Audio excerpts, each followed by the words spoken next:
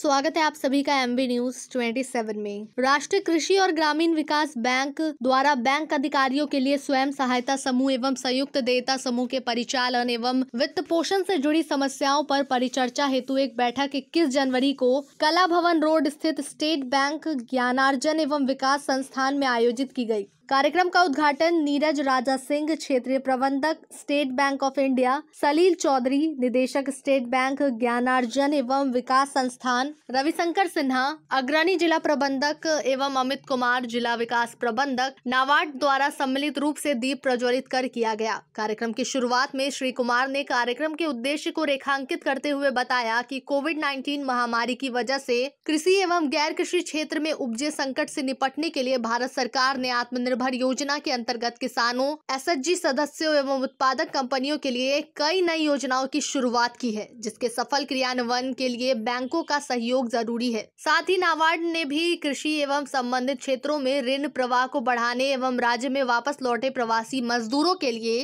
रोज़गार सृजन के उद्देश्य से कई विशेष पुनर्वित्त योजनाओं की शुरुआत की है।